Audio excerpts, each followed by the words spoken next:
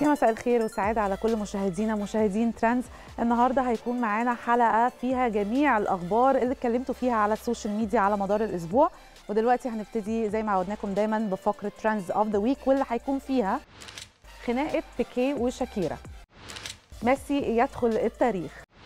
إيلون ماسك وحب مصر. عودة شيرين ويلا بينا نعرف كل التفاصيل.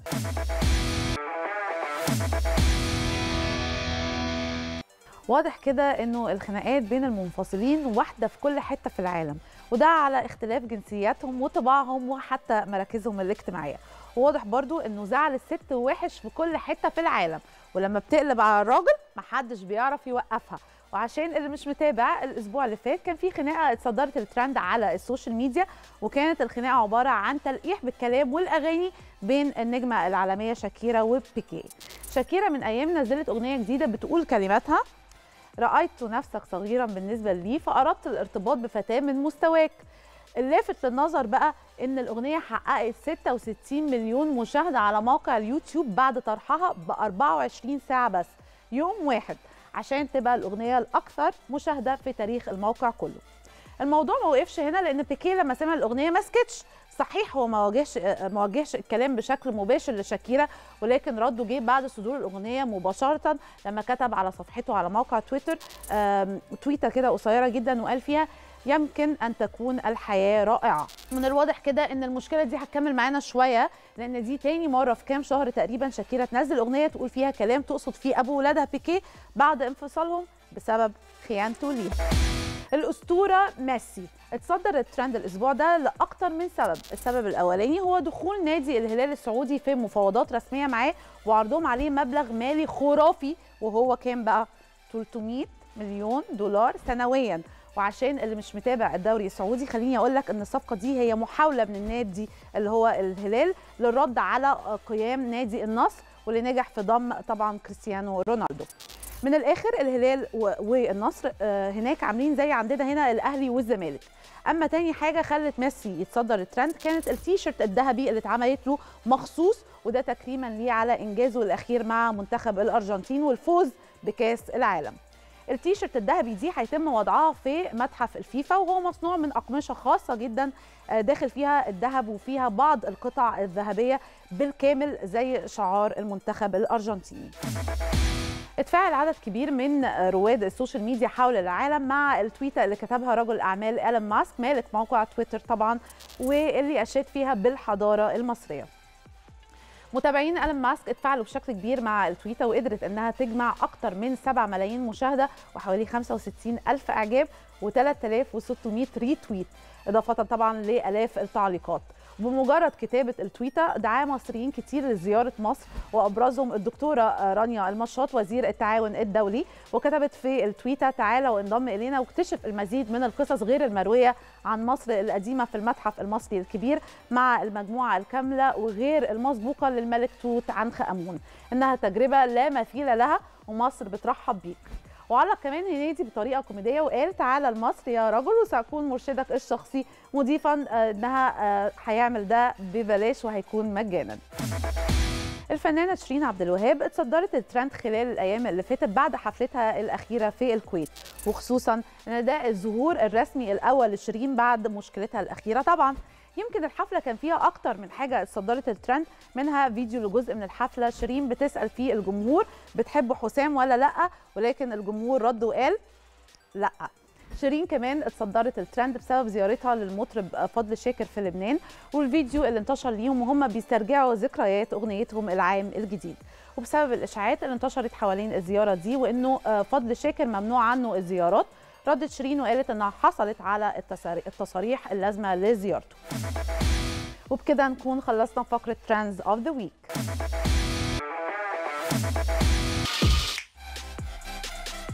خلينا نعترف إن في موضوعات بتشد الناس جدا ومنها طبعا الموضوعات المتعلقة بالراجل والست. دايما النوع ده لما بيتعرض في أي برنامج بالبلدي كده أو باللغة العامية بيقولوا عليه بيبيع نفسه. ولكن مع الأسف النوعيه دي من الموضوعات بقت بعض البرامج بيستخدموها بس علشان يتصدروا الترند ويحققوا شهرة واسعة جدا. حتى لو كانوا هم شخصيا مش مقتنعين بالكلام اللي بيقولوه. ونتيجة ده إن الموضوع بيوسع وبيتحول لخناقة ومشاكل على ال social media بالظبط زي اللي حاصل بقاله كام أسبوع ما بين أنصار الرجالة وأنصار الستات. وكل طرف منهم بقى شغال على إنه ينصف الطرف اللي هو في صفه ويجي على الطرف الثاني وبقينا نسمع كلام غريب جدا علينا كلام من نوعية الست إزاي تعامل جوزها والراجل إزاي يعامل مراته. وكأننا مثلا إحنا لسه مكتشفين فكرة الجواز دي حديثا أو كأننا مش عارفين الصح من الغلط. وفي النهاية كل اللي استفدناه من الخناقة دي إن ال social media بقت شبه ساحة الحرب بين الرجالة والستات. والحقيقة إن ده كله حصل بدون أي سبب ومفيش مشكلة أصلا عشان تحصل الهيصة دي كلها. وعشان كده هيكون معانا دلوقتي على ال Zoom نانسي ماهر استشاري العلاقات الأسرية. دكتور نانسي إزاي حضرتك؟ hi حبيبتي إزيك؟ عاملة إيه؟ الحمد لله كله كويس. دكتور طبعا أنت عارفة الخناقة اللي حاصلة حاليا بسبب ال social أيوة. ميديا أو البرامج اللي بتطلع على التلفزيون اللي بتؤدي لمشاكل بين الرجل والمرأة. تأثيره إيه على الأسرة المصرية بشكل عام؟ اولا أهلا بيكم ميرسي على الاستضافة. إحنا مبسوطين بيكي والله. أهلا بيكي اتشرفت بيكي. بصي حبيبي هو فكرة الخناقة أو فكرة إن أنا يكون في حد بيدي تعليمات أو بيدي إرشادات أو بيدي جايدنس للزوج أو الزوجة لازم يكون اللي بيدي ده مؤهل علميا ونفسيا واجتماعيا وكل حاجة إن هو يدي guidelines عشان الناس تمشي عليه. اللي بيحصل على ال social media إن الناس أي حد بيدخل يكتب comment أو أي حد بيدخل يعلق في group بيبقى كل الكلام ماشي في سكة إن إحنا ده بيدافع وده بيدافع فبقى في نزاع. فزي ما كان في ترند من فترة بتاع الزوجة ملزمة بإيه ومش ملزمة بإيه. ففي حاجات عمالة بتتحط فوق بعضها بتخلي في زي شحن الزوج والزوجة مع بعض في ال في ال جوه العلاقة. آه. فبيخلي ده حاجة من الحاجات اللي, اللي بتؤثر على طبيعة العلاقة بينهم. يعني مثلا لو الست عايزة إن هي تعمل بيت سوي وتبقى في شراكة بينها وبين الزوج ممكن بعض الترندات تخليها تحس إنها خانعة مش خاضعة خانعة. يعني هي درجة أقل من حيث ال ال إن هي في زي سلطة وهي لازم تبقى بتعمل حاجات معينة بأسلوب كده مش مدروس عمال بيبث في المجتمع. فده طبعا حاجة من الحاجات أو العكس يا دكتور إنها تعمل حاجات معينة هي مرفوضة في الحياة أو مرفوضة في العادات والتقاليد مرفوضة, أو مرفوضة في المنطق حتى ومرفوضة في, في الدين ومرفوضة في العادات والتقاليد ومرفوضة في كل حاجة قائمة على العقل والاتزان. فاهمة قصدي؟ يعني إحنا لما بنرجع في في العلاقات بالذات بنرجع لإيه؟ بنرجع للدين والأديان وبنرجع للمنطق وبنرجع للعلم.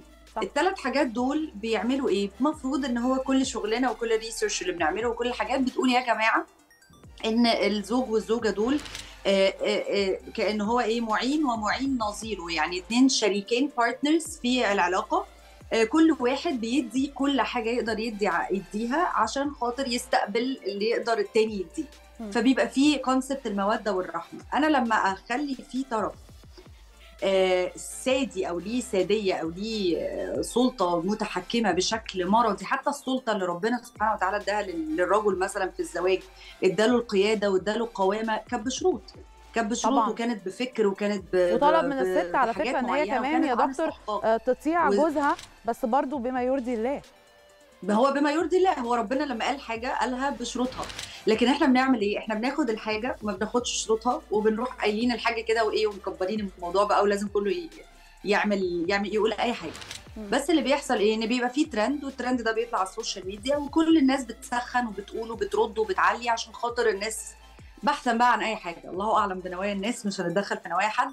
بس at the end of the day أو في آخر اليوم يعني إحنا بنفكر هو الزوج والزوجة دول اللي بيتقفل عليهم باب هم مستقبلين أو متعاملين مع الأمور إزاي؟ هل هم متعاملين باستفادة؟ يا جماعة لو في استفادة أنا على عيني وعلى راسي. يا ريت. أتمنى جدا يعني. طبعا أكيد. يب. عارفة يا دكتور نانسي كمان يعني شفت بجد خناقات حصلت كتيرة جدا في البيوت بسبب الموضوع ده. يعني طبعا. الزوج ابتدى يتفرج على حاجات معينة فابتدى يتهم زوجته بإن هي إزاي ما بتتعاملش معاه بالأسلوب ده أو شايفة إزاي كل الناس حتى هم بيقولوا أهو على ال social media وبيقولوا أهو على التلفزيون أنت كان المفروض أنا ما كنتش فاهم إن ده الصح أنا ما كنتش فاهم إن ده الطبيعي. أنت واضح إن أنت بتعامليني بطريقة مش كويسة مثلا. تفتكري حضرتك جدا. إزاي إحنا نعرف إيه هو الصح اللي ممكن نتفرج عليه وإيه هو الغلط أو إزاي نميز؟ ممكن تقولي لي ممكن نعمل إيه؟ آه، بصي هو اللي أنا شايفاه أو يعني من اللي إحنا بنشوفه في البيوت دلوقتي والفكر زي ما بقول لك اللي بدأ للناس تردده حتى أحيانا من غير فهم إنه أول قاعدة مش أي كلمة تسمعها تاثر فيك. تاني حاجة المرجع بتاعك يكون مرجع ديني ومرجع آه، أخلاقي ومنطقي وعلمي. أنت عرفت الثلاث حاجات دول ولقيت إن اللي بيتقال ده بيعمل زي. تشيك ليست كده مناسب للثلاث حاجات؟ تمام؟ يبقى انت كده تمام. لكن هتاخد كلمة من شخص وتاخدها تغذي بيها رغبة جواك انه أنا كان نفسي ده اللي يحصل. أو أحيانا أنا ما كانش نفسي أحيانا ما كنتش أعرف إن ده ممكن يحصل زي ما حضرتك بتقولي. بس أنا دلوقتي عاوز ده يبقى إحنا كده بنعمل حاجة هشة مش مبنية على أي حاجة تبني بيت سوي أو بيت سهل فاهماني بالنسبة للزوجة نفس الكلام يعني في أي ترند يقوي يقوي الزوج أو يحسسها إن هي المفروض تنسى دينها وتنسى أساسيات تربيتها وتنسى الأصول وتنسى وتنسى وتنسى في سبيل إنها تفولو أو تمشي ورا القطيع أو تتبع الترند لا إحنا هنا في مشكلة كبيرة قوي. طبعا. إيه المشكلة الكبيرة؟ إن إحنا في حتة إنه أنا ما بقاش عندي منطق وبالتالي آه، المشاكل في البيوت هتتفاقم هي مش هتزيد هي هتتفاقم وإحنا اوريدي بنعاني من في شغلنا بنشوف مشاكل كتير جدا وبتطلع من حاجات جديدة. يعني كل عصر ليه مشاكل أسبابها جديدة عن العصر اللي قبله. طبعا. فبيجي فهتلاقي إن في حاجات غريبة بدأت تطلع. البنات الصغيرين اللي هم في مرحلة المراهقة أو لسه بيتكونوا أنا عايزة أوصل لهم إيه؟ أنا عايزة أخليها تتجوز كنت عايزة أسأل حضرتك برضو يا دكتورة نانسي حالا على الموضوع ده. تأثير النوعية دي من ال trends على ال teenagers أو المراهقين بتكون إيه بالظبط أنا أنا حبيبتي لو أنا مثلا عايزة أربي بنوتة آه، آه، يعني في سن المراهقة إن هي تكون بني آدمة سوية يقولوا إن في سن المراهقة حتى أنا في كتابي بتاع المراهقة شرحت إن في حاجة مهمة للمراهقة اسمها ال role model أو القدوة مم. في سن المراهقة الشباب والشابات بيبقوا بيدوروا على قدوة. الشاب المفروض يبقى القدوة بتاعته حد يعرف يعني إيه رجولة. ولو هو مش مثلا مفتقد عنصر الأب لسبب أو لآخر في لازم يكون في بديل فبنسميه ال male figure. البنت نفس الكلام. لازم يكون في أيقونة للرجولة وللأنوثة. خلي بالك إحنا داخلين في حتة إن البنت لو طولبت إنها تكون أنثى معناه بقى الترند اللي شغاله دلوقتي إن انت عشان تكون أنثى تكوني خانعة تكوني مش عارفة بتعملي إيه تكون الصوت إيه تكون مش لا الحاجات دي مش هي اللي بتدل على أنوثتك. انت ممكن تكوني بتعملي كل ده بس شخصيتك طاغية على فكرة الأنوثة وبتعمل مشكلة. فالموضوع ماشي في سكة إيه؟ ماشي في سكة إن إحنا عايزين نكون شباب يعملوا لي بيوت نترحم فيها من اللي إحنا شايفينه دلوقتي يبقى ابني صح أسس صح. أسس يعني إيه علاقة؟ يعني في مثلا في علم العلاقات في حاجة بتقول لك إيه في بيت كده اسمه بيت العلاقات اسمه the sound relationship house من ضمن الرفوف بتاعة البيت بيت أو الأدوار حاجة اسمها ال shared activities إن يكون في نشاطات مشتركة. بيعملوها مع بعض حاجة بيعملوها آه سوا مع بعض. آه ومش بس نشاطات اللي هو الخروج والفسح لأ ال- المسؤولية بتاعت البيت. لما بيجوا لي اتنين couple مثلا مخطوبين بنقعد نتكلم معاهم في المشاكل ال- المحتملة. ومن ضمن المشاكل المحتملة آه، المواعين والبيت والمطبخ والحاجات دي. فالحاجات دي بنقعد ندرسها مع بعض والحاجات آه. إن إحنا نقلل يا جماعة اللي بيحصل. إحنا داخلين في عصر معظم البيوت محتاجة المرأة بتشتغل وال- والرجل بيشتغل الاثنين بيعملوا عشان نوازن الغلاء ونوازن احتياجات الولاد والحاجات دي. فلما أجي أحط عبء زيادة على المرأة أو أحط عبء زيادة على الرجل على فكرة هو عبء لأن أنت بتحط قناعة في دماغه إن أنت محتاج كذا. وأنا في دي حاجة كاتباها حتى في كتابي الأخير اسمها خلق الاحتياج. مم. أنت بتخلق احتياج ما كانش موجود جوه دماغه بره نطاق المنطق والدين والعلم. فبيبدأ يحس إيه ده؟ ده ده أنا المفروض بقى حد ما أعرفش يعمل لي إيه وحد مش عارفة يخلي باله من إيه وواحدة مش عارفة. وده بفلوسي. مناطق صعبة بتؤ... هتؤثر بشكل سلبي جدا على حتى الولاد في البيت. ده إحنا من ضمن الحاجات اللي بنناقشها وأنا كتبتها في كل كتبي وبقولها في كل محاضرات وكل الكورسات اللي هو المقارنة بت- بتؤذي جدا. فأنا النهارده لما أجيب حد وأسلط عليه الضوء وأقول إن ده شخص الناس قارنوا نفسكم بيه أنا كده بعمل مشكلة كبيرة. طبعا. لأن هقارن نفسي بايه؟ مفيش وجه مقارنة. أنا إذا كان إحنا لما بنتكلم في الكابلز أو في المتزوجين يعني أو المخطوبين مفيش مثلا في آه، السين متجوزة صاد وعين متجوزة لام. ولا ده ينفع أطبق عليه القاعدة بتاع ده ولا ده ينفع أطبق عليه القاعدة بتاع ده؟ طبعا. كل, كل ليها. هي حالة فردية ملهاش دعوة بالتانية. ففكرة إن أنا أقعد أقول المفروض مفيش حاجة اسمها المفروض طالما حاجة بره نطاق تاني العلم والدين والمنطق يبقى أنا كده بعمل حاجة مش مؤثرة بشكل إيجابي في المجتمع. طب وبعدين إحنا مجتمعنا يعني أسأل حضرتك في حاجة؟ أنت حاجات كتير يعني محتاجين نخلي بالنا منه شوية يا رب. عشان نلحق بس البيوت نفسنا يعني. والله. طيب دكتور نانسي أنا كنت عايزة أسأل حضرتك على سؤال أخير.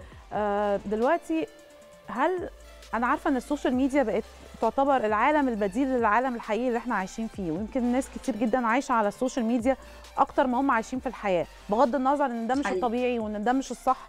لكن هو ده اللي حاصل. تفتكري إن إحنا نناقش المشاكل الأسرية بين الراجل والست على ال social media ده وضع طبيعي دلوقتي ولا لأ؟ أه حسب نوع المناقشة. يعني أنا بقالي حوالي 10 سنين على ال social media. من أول يوم عملت الصفحة وبدأت أتكلم فيها على كل ما يخص العلاقات بكل أشكال. بس كل ما باجي أكتب حتى post بحترم ال- ال- القراء زي ما بنقول. مفيش حاجة اسمها إن أنا بكتب حاجة بهوى شخصي. أو بفكر آه، لمجرد بس إن إحنا عايزين نعمل ترند أو عايزين نعمل خناقة أو عايزين نعمل حاجة.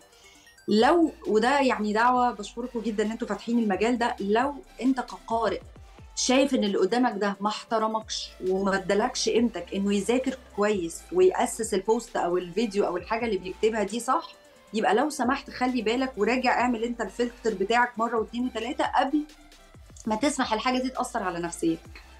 فاهماني؟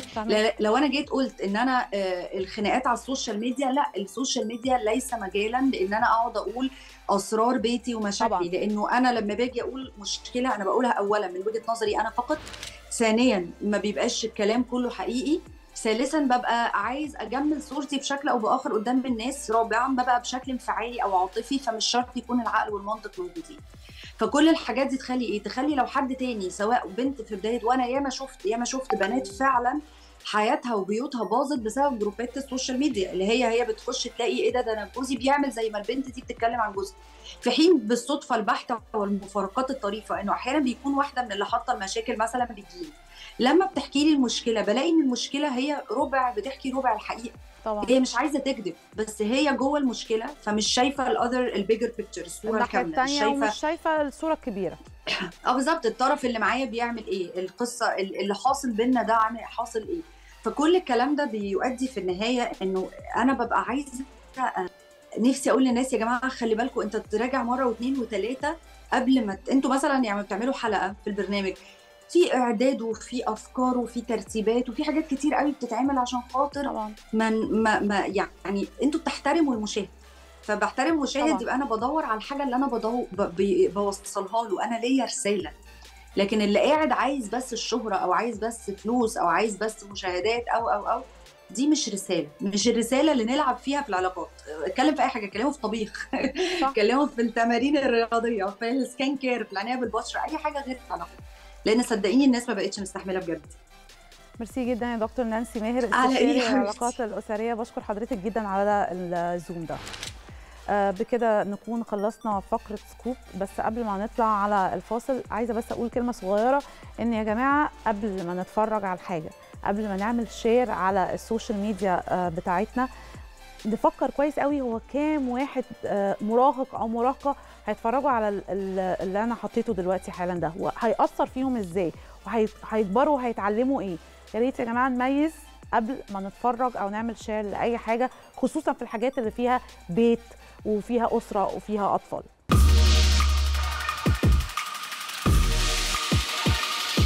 ودلوقتي خلونا نروح نشوف فقرة ال Social Lab ونرجع نكمل بقية فقراتنا. استنونا.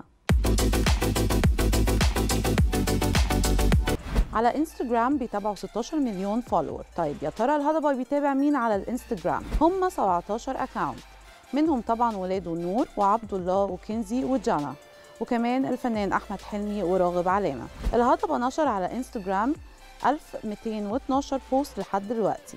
أغلبهم صور من حفلاته و videos لأغانيه الجديدة وصور ليه مع أصحابه وفرقته الموسيقية.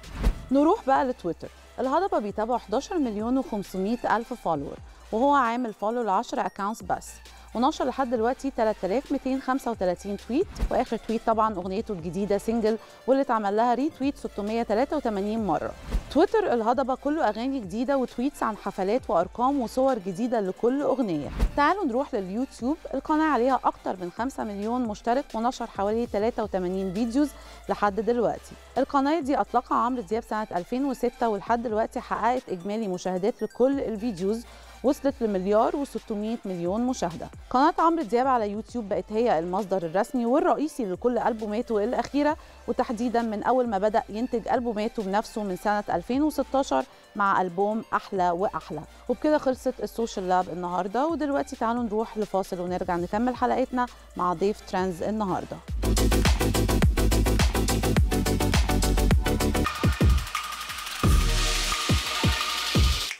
كلنا عارفين إن الحياة بتكون يوم حلو ويوم صعب ولكن إن إحنا نقدر طول الوقت نكون دايما متفائلين وإيجابيين ده أكيد بيساعدنا نعدي لحظات صعبة كتيرة جدا في الحياة.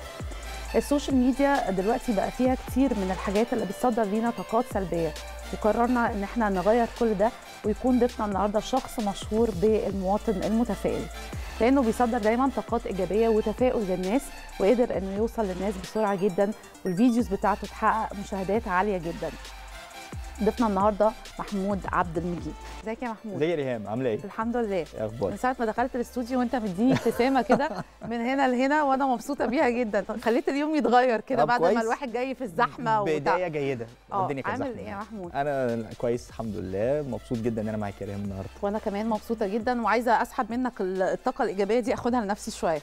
أرجوك. قولي بقى إزاي الأول ابتديت الصفحة بتاعتك على ال social media. طيب أنا بدأت مش من زمان أنا بدأت من سنتين. والفكرة إن أنا كنت أنا مهندس وكنت أنا كنت عايش بره في أمريكا. ورجعت مصر بقالي سبع سنين فكنت بدي محاضرة. وفجأة الطلبة كلها في المحاضرة أول ما عرفوا إن أنا كنت في أمريكا بقت الموضوع أنت إزاي سبت أمريكا؟ وجيت على مصر. وجيت مصر. أوكي. ده إحنا عايزين نسافر إحنا عايزين وأنت كنت هناك وجيت. وبدأ الكلام ولقيت حد بيقول لي انت حضرتك متفائل قوي. كلمة متفائل دي رنت في وداني. بعد كده قلت طب والله الواحد دي حاجة كويسة ده أنا مواطن متفائل. ورحت نازل على السوشيال ميديا وكتبت أنا مواطن متفائل وتفائلت إن أنا أحط يعني أقول حاجة زي كده إن ناس كتير قالوا لي لا لا مش هتعمل حاجة ومش هتحقق ويا عم تفاؤل إيه؟ وبس. وبدأت إن أنا أنزل فيديوهات صغيرة. آه، 10 ثواني 15 ثانية. والنهارده سنتين أنا طالع معاكي بنتكلم على حاجة ان الناس لقيت عندها الناس مبسوطه بيها الناس بتتابعني الناس بتتفرج الناس عايزه دوت. الناس حابه ان هي تشوف حاجة ان لا خير ان شاء الله. بتفكر تفكير سوداوي دلوقتي صح؟ لازم أم العكننة لازم تعكن مش ممكن ما تقدرش تعيش. لازم تعكن لازم تفكير سوداوي. كفاية تفكير سوداوي اللي في دماغك ده مش هيحصل. تفائلوا بالخير تجدوا يا سلام. بقى هو خلاص. طب قولي انت فاكر يا محمود أول فيديو خالص عملته؟ آه، أول فيديو عملته آه أول فيديو عملته كنت بتكلم على إن آه، كله بيشتكي إن حاجة وبقول يا جماعة هو معقولة كل حاجة وحشة؟ كله بيشتكي من كله محدش كده بياخد وقفه كده ويقول يمكن أنا شايف الموضوع بشكل آه، مختلف. وده كان من الفيديوهات اللي أنا عملتها والناس يعني بدأت اللي هو إيه إن أنا كنت قاعد مع ناس وكله بيشتكي من كل حاجة والمهندس بيشتكي من الدكتور والدكتور بيشتكي من السوبر اللي هو ما إحنا لفة ما بتخلص. لفة ما بتخلص. طب ما هو حد ممكن يقول لأ الحمد لله يا جماعة والله إحنا كويسين إحنا عندنا حاجة زي كده. ده كان أول فيديو عملته ده كان في شهر 9 2021 الفين- لأ 2020 أوكي. 2020 يعني من ثلاث سنين تقريبا آه تقريبا آه آه. آه آه ده إحنا عندنا حتة كده إن إحنا دايما بنحب نشتكي وحتى لما تيجي تتكلم مع واحد صاحبك أو واحدة صاحبتي مثلا هي أقول لها يا بنتي قولي الحمد لله فهي تروح قايلة لك آه طبعا الحمد لله بس بس أصل أصل آه عارفهم إحنا أنا دول كلنا عندنا هو غالبا. نفس الصديق نفس الصديقة موجودين بيبقوا على كل لا على واحد فكرة كلنا بنعمل الحاجات آه. دي يعني لما أنا بح- بحس ان أنا مثلا مخنوقة قوي من موضوع مضايقني أو حاجة. فحد يجي يقول لي لا بس برضو يعني قولي الحمد لله ده غير كذا وكذا الحمد لله بس بصراحة كلنا بنعمل كده. يعني كلنا ب... وإحنا جوه المشكلة مش بنبقى حاسين قوي إن إن الموضوع يتحل بسرعة. طبعا بشكر ربنا على كل حاجة مديها لي تانية في الحياة بس ساعتها في اللحظة دي الواحد بيكون مخنوق قوي فبيقول لك بيقول الحمد لله بس بس أصل كذا. وده وده طبيعي. إحنا قلنا كلنا كده. آه. والتفاؤل مش معناه إن أنا لما تجيلي مشكلة اللي هو لا لا عادي. آه يا عم أنا ما عنديش مشكلة. بقى بيس الحياة حلوة أنا لا لا لا. لا ده مش معناه التفاؤل. ده معناه وهم. آه صح. التفاؤل مش معناه الوهم. التفاؤل معناه إن أنا أو شايف عندي مشكلة بقول الحمد لله إن الحمد لله ربنا قال لنا قولوا الحمد لله على كل حاجة طبعاً. فإحنا الحمد لله. بن بن ب- يعني ده حاجة بتساعدنا. لكن التفاؤل معناه إن أنا أشوف المشكلة اللي عندي ما تشائمش إنها هتبوظ وهتعك إنها لو ب... لو بايظة هعمل أنا إيه؟ ما هي كده ولا كده بايظة. صح. لكن التفاؤل يخليني إيه؟ أنا شايف إن دي مشكلة هتعامل معاها واقدر ان شاء الله اطلع منها بس محتاجة اعمل واحد اتنين تلاتة. أفكر أنا م- في حلول. أفكر في حلول. وفي أوقات بتبقى ضلمة. بس الوقت بيحلها. الوقت بي... يعني أنا ساعات بتبقى أنا بقول لك اهو المواطن متفائل أنا في أوقات بتبقى ضلمة ضلمة. طبعا. ما أنت. بني آدم برضه على بعمل زي أي ذكر شرقي أروح رايح لماما. فكره آه آه, آه. خب- ماما تخش داخل عليا كده تقول لي في مشكلة. آه. أقول لها مش عايز أتكلم على أي حاجة. اقعد شوية تعمل لي حاجة أكلها كده مراتي تكلمني فانا عند ماما آه يبقى في في حاجة مضايقاك. في حاجة مضايقاني كبيرة قوي واللي هو خلاص الوقت ممكن يعديها. و... وده حاجة يعني بلاش نتعامل مع إن التفاؤل ده وهم. لا التفاؤل مش وهم. إن أقول لك بقى حاجة ظريفة إحنا من ساعات كتير بنتشائم ونفكر تفكير سوداوي وإنها مش هتتحل 93% من ده ما بيحصلش. دي الإحصائيات. يعني الدراسات بتقول 93% من التفكير السيء ما بيحصلش. يبقى مين اللي عايش في الوهم؟ البني آدم. اللي بيفكر دايما تفكير إيه؟ سلبي. سلبي. مم. مش بقى الم- ال- المتفائل. وخلي بالك مصريين كتير قوي ماشيين متفائلين بس هم مش واخدين بالهم. إزاي؟ إن هو يقول لك إيه؟ يا عم هتعدي. لا ده إحنا الكلام لزاز قوي برضه. آه. إحنا في كل مشكلة لازم إحنا أكتر ناس بتتريق على حال, حال نفسهم. آه. إحنا أكتر ناس بت... بتطلع نكت. إحنا أكتر ناس بت... يعني أمثال في شعبية في التعب. عز الن- آه، وفي. عز النكد وفي عز الم... الم... أي نوع من أي مأساة تلاقي دايما ال- التهريج وال... والنكت بتطلع على طول. إحنا برضو شعب لذيذ. إحنا جدا. جدا صح؟ الناس تقول لي أنت رجعتي ليه؟ عشان إحنا لذاذ يا جماعة. هنا حلوة يعني. فاحنا بنعمل ده. شوفي انت قلتي إزاي في عز النكد في عز الأزمة. تلاقي نكت وهزار وضحك والناس بتحاول تطلع نفسها. إحنا شعب والله يعني عايق وعنده دوت بس هو إيه محتاج كان محتاج حد يوجهه. يقول له لأ خلي بالك أنت متفائل واللي بتعمله ده هو ده الصح وهو ده اللي يعديك من المشكلة. طب قولي يا محمود في البداية أكيد كان في صعوبات على السوشيال ميديا. إيه هي أكتر الصعوبات لو تفتكرها؟ وإيه أكتر الانتقادات اللي جات لك وتعاملت معاها إزاي؟ آه بصي أول الصراحة أكتر صعوبات كانت بتيجي على السوشيال ميديا هو الانتقاد السوشيال ميديا دي يا جماعة زي انت في الإعلام انت في الإعلام انت حاطة نفسك قدام الناس كلها. كل حد ليه رأي. طبعا. وعلى السوشيال ميديا مفيش انت مش شايفة اللي بيتكلم. فالحد اللي بيرد اللي بينتقد بينتقد قوي. مم. بيقول كلام ساعات يوجع. ويخليكي انت تشكي في نفسك. يعني أنا كان بيجي لي انتقادات وكومنتات تخليني محمود هو أنا ليه بعمل كده؟ أنا لا وناس تقول لي لا لا لا بطل ولا والفيديو ده ملوش لازمة وايه الكلام ده وممكن توصل مسجات إلى حد يعني إيه شتيمة. كنت متفائل بقى ساعتها؟ آه مش قوي. أكيد. مش قوي. كنت قلقان وكنت خايف وفي حاجات كنت أنزل فيديو أمسحه. لحد ما يعني حد كده مشهور على السوشيال ميديا قال لي عادي على فكرة. مم. وده الطبيعي. ما تركزش في الحاجات دي. ما تبصش. يعني بحس الناس اللي دايما بتقدم محتوى لذيذ على السوشيال ميديا مش لازم يكون كله حاجات تعليمية أو إن أنت إزاي تكون أحسن أو يعني ساعات بيكون في محتوى على فكرة دمه خفيف. آه. هو فكرته إن أنت تبتسم وتضحك أو بس. أو إن أنت تحس إن أنت عملت حاجة النهارده بإن أنت سمعت معلومة صغيرة قد كده. ال- المحتوى بيختلف من شخص للتاني. بس هو في ناس كتيرة جدا جدا جدا جدا بيدخلوا يديلك كومنتس أو تعليقات بتكون سخيفة جدا جدا جدا. هي الفكرة ان إن لو أنت ما بتقدمش حاجة حلوة ده رأيي مفيش حد هيبقى شايفك. محدش هياخد من وقته المجهود إن هو يكتب لك الفاشل فاشل. فمحدش بيتعب إن هو يفشله زيادة. مظبوط. وفي حاجتين يعني في نقطتين مهمين جدا. الكلام اللي أنت بتتكلمي فيه ده طبعا كل في حد ممكن يعمل محتوى هو أو هي عايز الناس تضحك. بالظبط. زي ما في فيلم كوميدي وفي دراما وفي برنامج كوميدي وفي برنامج بيحل قضايا سياسية شائكة أو حاجات زي كده السوشيال ميديا نفس الحكاية. بس في نقطة أنا كصانع محتوى في حد خد من وقته دقيقة ولا دقيقتين إن هو يخش ويكتب تعليق سيء جدا سخيف جدا. أنا بتعاطف معاه. إن هو أكيد عنده مشكلة في حياته هو أو هي أكبر من إن ده تنفيس مم. يعني إن هو ما يعرفنيش. ولو شافني في الشارع ممكن مستحيل يقول لي كده. و90% هيجي يسلم عليك ويتصور معاك على فكرة. عادي جدا. لكن هو بيطلع حاجة فأنا اللي هو يعني ده المشكلة اللي عندك. طيب محمود آه، من خلال النهارده عايزين نفهم منك يعني إيه كلمة motivational speaker على السوشيال ميديا okay. أم، هقول لك بقى معلومة خطيرة. ممكن تشرحها لي الأول بالعربي؟ okay. motivate اللي هو محادث تحفيزي. مم. بيحفز اللي قدامه عن طريق كلام أو معلومة بيقولها إن هو الشخص اللي قدامه اللي هو وهي يمشي ينفذ الحاجة اللي هو عايزها أو اللي هي عايزاها. يسمع الكلمة دي يتم استثارته أو استثارتها إن هو لأ أنا عايز أعمل الحاجة دي فأنا كنت داخل إن أنا عايز أعمل كذا فأنا فعلا هستمر وأعمل دوت. النقطة عندنا إيه بقى؟ إن إحنا إحنا كده خلصنا يعني إيه تحفيز؟ بالظبط. التحفيز ده مش حاجة مستمرة على طول. يعني يقول لك إيه أنا فاقد الحماس.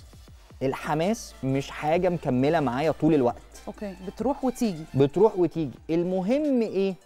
الاستمرارية. أوكي. يعني أنت دلوقتي نازلة البرنامج الصبح جاي. الدنيا في مطر زحمة مدرسة مية مقطوعة. مية مقطوعة بالظبط. آه كنا بنتكلم ده قبل ال- ال- ال- تسجيل الحلقة. الهواء قبل الهواء إنه الميه مقطوعه التسجيل. ده ده كان كله يخليك إن انت مش متحمسة قوي للحاجه تحصل مم. بس في التزام طبعا الالتزام هو اللي يخليني أحسن بقى مم. إن أنا مهما كانت الصعوبات أنا مكمل احكي لي بقى عن يو كانت فيكس him آه الموضوع ال- آه، الموضوع الشائك ده. ده أكيد. إحنا أول ما يجي المواضيع دايما على آه لسه كنا بنقول في بداية الحلقة عن العلاقات بين ال- الرجل والمرأة. دايما تلاقي كله راح مطرطق أيوة. ودانه كده وعايز يسمع ويشوف. ده ده أشهر فيديو. ده ده, ده, كانت الانطلاقة الحقيقية لمحمود عبد المجيد على السوشيال ميديا. طب خلينا الأول نشرح برضو يعني إيه يو كانت فيكس يو كان فيكس بالعربي يعني مش هتقدر تصلح حد. مم. مش بس هتقدر انت كنت بتوجه الكلام لل- للبنات. للبنات. للبنات. يعني انت بتقول للست. انت مش هتقدري تغيري هذا الشخص أو بالظبط. تصلحيه بمعنى أو- أصح. أو تصلحيه. آه. في بنات كتير وده منتشر أكتر في البنات. يعني للأمانة إن هي بتتعامل مع راجل أو ولد ايا كانت الفئة العمرية إن هو في حاجات هي مش عايزاها مش مبسوطة بيها بس تقول لك لا لا لا. أنا ما هغيره بعد الجواز. أنا بعد الجواز هغيره. آه. وبعد كده بعد الجواز بنلاقيهم في محاكم الأسرة. التطور الطبيعي بتاع الحاجة الساعة اللي إحنا بنشوفه. ليه؟ إن هي دخلت الدخلة الأولانية. لا لا لا لا أنتوا ما تعرفونيش أنا أقدر أعمل إيه؟ أيوه طبعا معروف. ده أنا حكاية. معروفة معروفة. ده عارفة أنت مش الحكاية دي؟ تعملي حاجة خالص. آه بالظبط. لا أبوه ولا أمه ولا الزمن غيروه. ليه متوقعة إن أنت اللي هتغيريه؟ الحاجة في واحدة أو حد يقول لك لا لا هو اتغير. أيوه هو كان عايز يتغير. هو كان شايف في نفسه إن هو اللي بيعمله ده حاجة مش حاببها أو مش عايزها. وعايز يغيرها في نفسه. طلب المساعدة. طلب ال- ال- الحاجة النصيحة من حد. آه ده you can to work تشتغلي معاه. تشتغلي معاه إن هو يتحسن. يتحسن. بس بس بس الهدف لازم إيه؟ يجي الأول منه. منه. okay. هو في حد لو مش عايز يعمل حاجة بيعملها؟ لا طب مش عايز أعملها. إحنا مش بنتكلم على اطفال أصلا بنتكلم على ناس كبار في السن يعني فاهمين واعيين في حاجة مش عايز يعملها خلاص مش هيعملها. ده سواء الحكاية دي بتحصل لراجل أو لست. لو حدش عايز يعمل حاجة ما بيعملهاش. فإيه اللي يخلينا نعتقد إن أنا هغير بني آدم؟ من غير. يعني ربنا بيقول لنا كده. لكل بنت بتتفرج عليا. والله العظيم يو كانت فيكس وحياة ولادي يو كانت فيكس لو هو broken سيبيه broken don't fix بس أنا عايزة أسألك على حاجة. قولي. تعتقد ده اعتقادي الشخصي. ماشي. إن أنا بحس إن الست ممكن الراجل يغيرها.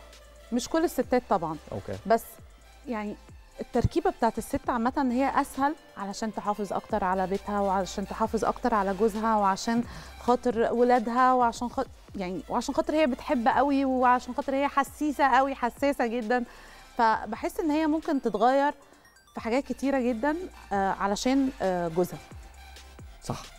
ما ال... شفت بقى الستات أطيب إزاي؟ أنا مهما يعني ما أقدرش أتكلم بس ال... ال... الست عامة والست المصرية بشكل كبير بيبقى عندها قدرة اللي هي عايزة تمشي الأمور. مم. هي عايزة تمشي الدنيا. الدنيا. عايزة تمشي المركب. وبتيجي على نفسها. مم. بتيجي على نفسها. هي بد... هي مش بتتغير. هي بتيجي على نفسها عشان ما تعملش دوت. عشان ت... و... وفي أوقات كتير بتبقى شايفة إن جوزها تعبان وشايل الهم فعايزة تطيب خاطره. عايزة اللي هو أنا معاك. أنا في ظهرك. انت عارفة في كلمة هو في أحلى من كده طيب؟ لا مفيش طبعا. لا إحنا بص إحنا عندنا جملة شهيره يعني أنا دايما بحب أقولها تقول لك الست المصرية تقول له يا حبيبي يا أخويا يعني قربته لقرابة علاقة الدم. إن أنا في ظهرك أنا معاك. آه وده الطبيعي ده اللي إحنا أو مش ده الطبيعي ده اللي إحنا اتربينا عليه. آه طب في تغيير دلوقتي بيحصل؟ يعني برضو عشان أبقى منصف في حاجات إن لا بقى في نوع من أنواع اللي هو إيه أنا كده وإذا كان عاجب. من الراجل ولا من الست؟ بقى بيحصل في الاثنين أنا بشوف الموضوع ده. وأنا أنا ما عنديش مشكلة في الكلمة دي. بس نبقى من من الأول واضحين. واضحين. يعني سواء الراجل أو الست من الأول أنا كده ومش هتغير. عارفة إن برضو في رجالة يقول لك أنا هتجوزها وبعد الجواز أغيرها. أصل هي بتشتغل قبل الجواز فانا لما هتجوزها لا مفيش حاجة اسمها عندي شغل. أنا عايزة أقول لك على الجروبات بتاعت الستات اللي على السوشيال ميديا اللي أنا أكيد مشتركة فيهم كلهم. آه، دايما يبقى في حتة اللي هي بتاعت هو مثلا آه، اتجوزني وأنا بشتغل ودلوقتي عايزني أسيب الشغل. مم. هو اتجوزني على فكرة وأنا بصحى مثلا for example متأخر شوية دلوقتي هو عايزني آه، أصحى بدري. مع إن أنا هو كان في الأول عارف كذا هو كان آه، واخدني الأول وأنا بحط make up دلوقتي هو مش, مش عايزني أحط make up طب ما أنا عجبتك وأنا عاملة كده إيه اللي اتغير بعدين؟ ودي ودي لازم أنا بقول يا جماعة ما تقول يا حبيبي من الأول أنا عايز ده. ليه فكرة؟ أو, أو أنت قول لها أنت بتشتغلي إحنا بعد الجواز أنا مش هخليكي تشتغلي. وهي ليها حق الرفض هي ليها حق إنها تقول أنا مش عايزة دوت أنا مش هعمل كذا. فتبقى أنت واضح إن هيحصل إيه؟ بتبقى هي تقول لك زي بالظبط كده أنت أنت اتجوزتني كده. أنا عايزة ده. فيبتدي يعمل مشاكل فيبتدي يحصل خناق. فيبتدي يحصل بقى اللي قلنا محكمة الأسرة صح. والمشاكل دي. طب ليه؟ ليه؟ ما إحنا جزء من التفاؤل إن أنا أتعامل مع الأمور بواقعية. بلاش تفاؤل ده مش تفاؤل ده وهم. إن أنا لا لا بعد الجواز أنا ولا هتحط make up ولا هتنزل الشغل ولا هتروح النادي ولا هتنزل مع أصحابها بتوع الجامعة ولا أي حاجة هتفضل قاعدة في البيت ما بتتحركش. في ناس بتيجي تقول لي أنا حالات ونجحت. لا ما هو خناقه بقى والجواز والعيشة بقى وقرفانين وطالع عينينا وال- والوضع صعب. أيوه يا سيدي الفاضل ما هو عشان الحاجات ديت أنت مش واخد بالك. صح. فلكن ما هو خليني أقول حتة كده. إحنا في آه، رجالة كتير في مصر وورا الكاميرا بيبصوا لي اللي هو هيتكلم في سي السيد. سي السيد دي شخصية خيالية عملها روائي عظيم. أستاذ نجيب محفوظ الله يرحمه وهو كان بيحط صورة لشخصية سيئة. شخص كان سيء. ده مش معناه إن إحنا لازم نبقى عاملين زيه. لكن إحنا خدنا الجزء بتاع إن هو بيخش البيت بيقول الكلمة كله بيقف بيسكت. هو كان خوف وليس احترام. إن إحنا لما نشوف بقية ال- الفيلم أو الرواية ونقراها لأن هو حصل له مشاكل واولاده كانوا بيعملوا كذا وكذا وكذا من وراه وما وهو بيسمعوش كده. كمان حصل وهو كان بيعمل جداً. إيه؟ هل ده اللي أنت عايزه؟ طبعا. هل ده اللي انت عايزه في حياتك؟ وشخصية أمينة السيدة الخانعة تماما اللي بتعمل أي ح- هل انت عايزها كده؟ يعني انت لما بتيجي ترتبط ببنت دلوقتي انت عايز الشخصية دي؟ لا انت بتدور على شخصية حركه بتاع بس انت عايزها تبقى كده. لا ما بيحصلش. يعني الكاميرا ما, بيحصل. ما تحاولش ما تتعبش قلبك. وما تعبناش معاك. محمود أنا بجد بشكرك النهارده على وجودك معايا وانبسطت. جدا من الانترفيو وإن شاء الله. نشوفك تاني قريب. بإذن الله وأنا مشكور وشكرا ليكي ميرسي يا محمود. وبكده تكون خلصت الحلقة النهارده. نشوفكم إن شاء الله الأربع الجاي في نفس الميعاد. bye bye.